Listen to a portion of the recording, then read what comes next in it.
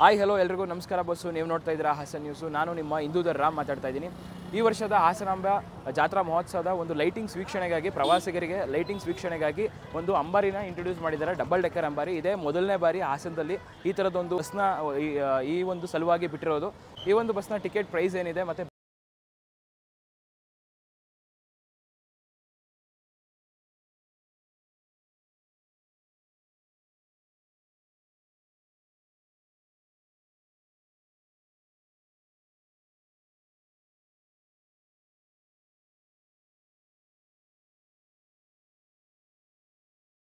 ಇವಾಗ ಈ ಒಂದು ಅಂಬಾರಿನ ತೋರಿಸ್ತೀನಿ ಯಾವ ರೀತಿ ಇದೆ ಅಂತ ಹೇಳ್ಬಿಟ್ಟು ಹಾಗೆ ಇದರ ಪ್ರೈಸು ಕೂಡ ಹೇಳ್ತೀನಿ.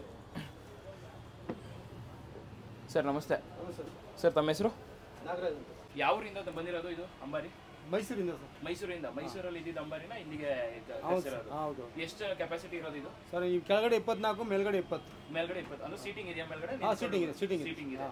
ಓಕೆ ಇದು ಪ್ರೈಸ್ ಎಲ್ಲ ಹೆಂಗೆ ಮೈಸೂರಲ್ಲಿ ಸೇಮ್ ಇತ್ತಾ? ಇದೇ ತರ ಪ್ರೈಸ್ ಇತ್ತಲ್ಲ ಜಸ್ಟ್ ದಸರಾದಲ್ಲಿ ಮೇಲ್ಗಡೆ ಐನೂರು ರೂಪಾಯಿ ಕೆಳಗಡೆ ಇನ್ನೂರ ಐವತ್ತು ರೂಪಾಯಿ. ಇನ್ನೂರೈವತ್ತು, ಐನೂರು. ಓಕೆ ಸರ್, ಧನ್ಯವಾದ. ನೋಡಿ, ಇಲ್ಲಿ ನೋಡ್ಬೋದು ನೀವು. ಕೆಳಗಡೆ ಇಪ್ಪತ್ತೈದು, ಮೇಲ್ಗಡೆ ಇಪ್ಪತ್ತಂತೆ ಸೀಟು. ಇಪ್ಪತ್ತೈದು ಸೀಟ್ ಇದೆ. ಇಲ್ಲಿ ನಮ್ಮ ಹಾಸನದಲ್ಲಿ ಈ ಒಂದು ಲೈಟಿಂಗ್ಸ್ ವೀಕ್ಷ, ವೀಕ್ಷಣೆಗಾಗಿ ಮಾಡಿರೋಂಥ ಈ ಒಂದು ಪ್ರವಾಸೋದ್ಯಮದಿಂದ ಬಂದಿರೋಂಥ ಒಂದು ಬಸ್ ಇದು.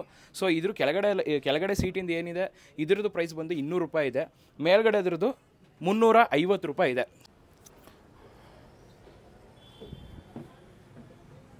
ಓಹೋ. ಇಲ್ಲ, ಟೆರಸ್ ಮೇಲೆ ಬಂದಂಗೆ ಆಗ್ತಿದೆ.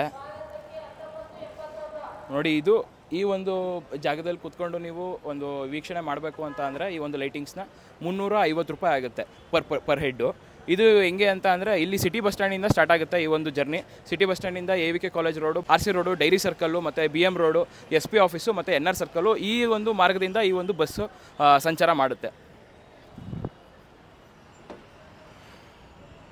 ನೋಡಿ ಈ ರೀತಿಯಾಗಿದೆ ಈ ಒಂದು ಬಸ್ಸು.